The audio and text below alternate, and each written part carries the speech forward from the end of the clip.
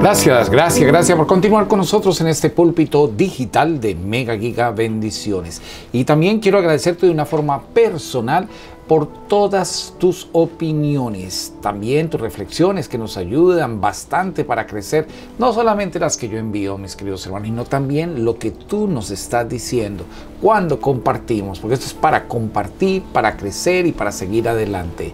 Así que estamos muy felices, mis queridos hermanos. A veces no contestamos porque creemos que tú ya tienes la respuesta. Bueno, vamos a hablar hoy de algo muy interesante y es que algo nos tiene que a nosotros dejar todos estos acontecimientos que últimamente hemos vivido, mis queridos hermanos, algo positivo.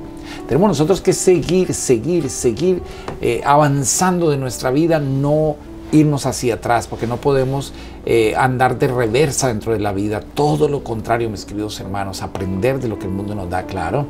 Eh, muchas veces también de la forma como oramos, tenemos nosotros que aplicar esa oración a nuestras vidas, porque muchos de nosotros tenemos o no oraciones epidérmicas y creemos que oramos solamente como, como para suavizar. No, aquí tenemos nosotros que orar, mis queridos hermanos, es para sacar ese mal, para sacar ese pecado que está insertado en nuestra vida, no nos deja crecer, no nos deja ser felices, nos llena de preocupaciones, no nos deja dormir, nos mantiene deprimidos, nos mantiene estresados. Y yo te quiero decir a ti, tienes que limpiar eso, mis queridos hermanos. Esa oración epidérmica para algunos creen que es una oración como si fuera una crema suavizante, una crema que de pronto nos va a ayudar a nosotros a cicatrizar algunas cosas y que después vuelve a retoñar. No. Tampoco, mis queridos hermanos, tenemos que pensar que es un ungüento o un bálsamo extra o un aceitico que nos colocamos simplemente como para anestesiar un pasado o un problema. No, esto es para sacar adelante y cortar inmediatamente. Hay que dejar de ser egoístas, de ser hedonistas.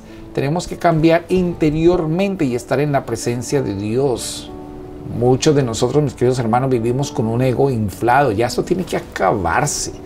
Tenemos nosotros que proclamar a Cristo en nuestras vidas, seguirlo a Él y que este cambio sea para mejorar. Se acabó de que yo tengo ya muchas dudas. No, con todo lo que hemos visto tenemos que aprender algo.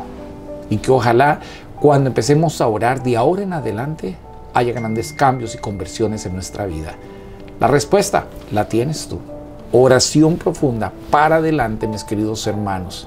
Dejemos de inflar ese ego tan grande y pensarnos que no necesitamos de Dios, que no necesitamos de un consejo de personas buenas. No, Señor.